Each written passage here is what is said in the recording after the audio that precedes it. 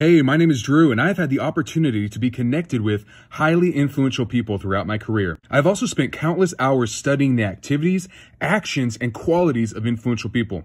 My goal with this channel is to help you increase your influence in the workplace. Stay to the end because I have a free assessment where you can measure your influence. I kind of want to go through a little test, if you will, on are you transactional or are you relational? And we're all going to lean one way or the other in business, in life, in relationships. But I want to give you some questions because you might not know. You might not actually know if you're more relational or transactional. So I have three questions for you that you can ask yourself to see if you are more transactional or relational. Number one, when composing an email to a client, to a team member, do you ask them how they're doing? How's your day going? Hope you're having a great day. Uh, great seeing you last week. How's the family? Or do you jump right in to business? If you jump right into business, you may be more transactional. Number two, okay, so when you're at a networking event and you're talking to someone, are you asking them questions like, what do you do? So that you can determine if they are your target audience or are you asking them questions so you can discover why they do what they do? If you are simply reaching out to them to see if they are your target audience, you may be more transactional than relational. And then the final one, this one, like I said, it may be a little risque, uh, a little out there. So, um, little PG 13.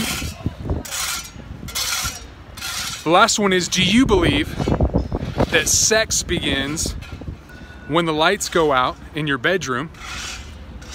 Or do you believe sex begins in the morning when you're doing dishes in the kitchen?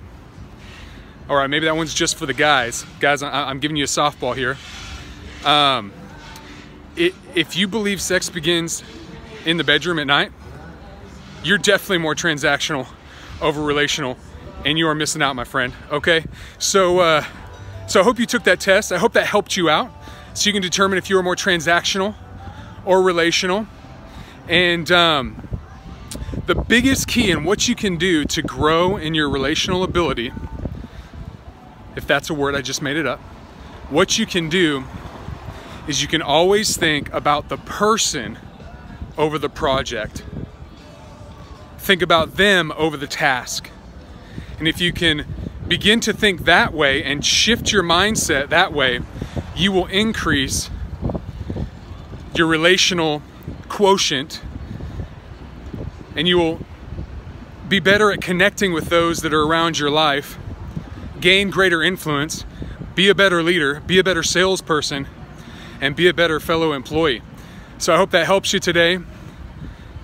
Are you more transactional or relational? Make the change and you'll be glad you did. If you found value from this video, please like and subscribe to the channel. To receive the free influence assessment, simply click on the link below that says Influence Assessment. If you have any questions or comments about influence, please comment below and I will look forward to connecting with you. Always remember, increase your influence, realize your dream.